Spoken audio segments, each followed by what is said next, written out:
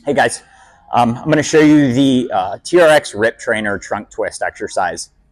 If you don't have a Rip Trainer, um, which a lot of people don't, you can just substitute with resistance band and a handle. Again, you're all we're doing is just focusing on sweeping across the body, okay?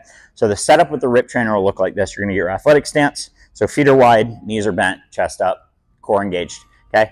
Wide grip, I don't like super wide, more so about like shoulder width. Um, one thing that is important is that inside hand kind of right there um, towards where it's anchored. So keeping your arms straight, I'm just pivoting out and across the body, following my hands with my eyes, and then pivoting that inside foot. But remember, goal is just staying low and sweeping across the body and staying tight through your trunk.